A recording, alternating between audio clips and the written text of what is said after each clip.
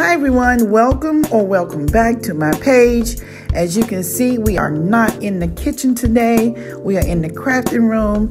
I had a set of aprons that needed to be done and put in the mail today. So I had to get at it and I thought I would bring you along with me to help me out.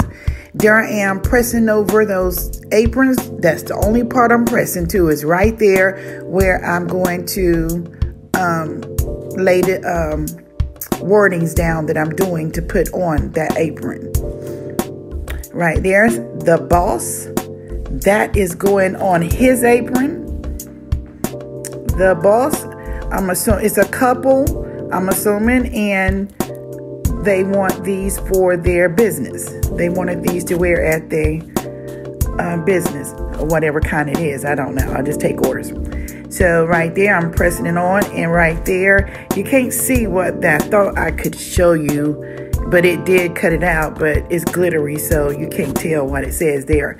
You won't be able to see what that is until I peel it right there. I'm showing you my favorite um, Pandora Station, Midnight Star. I'm old school, y'all. Old school, old school for life. The 80s. Right there is real, and it's going to go in between the boss and that's hers, and hers says the real boss. So I got that all weaved out and ready to be hot pressed. That's the hardest part right there, sitting there. It's, it's soothing and relaxing to sit there and weave it, uh, you know. Do it, it really relaxes me to do this, to sit and just weave it out. You know, I don't know why, but it really does. It relaxes me. There I am putting the boss on first, and then I go back and place that real in between there. And then I put the hot press on that.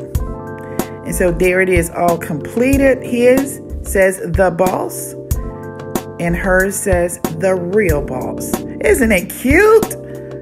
So I got to go ahead and get it packed up, sealed up, dropped off to the post office. And there it is. I laid, I'm sorry, I laid the phone down.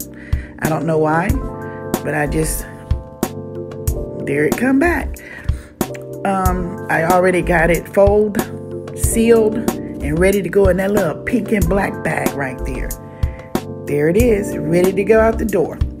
Okay, y'all be blessed.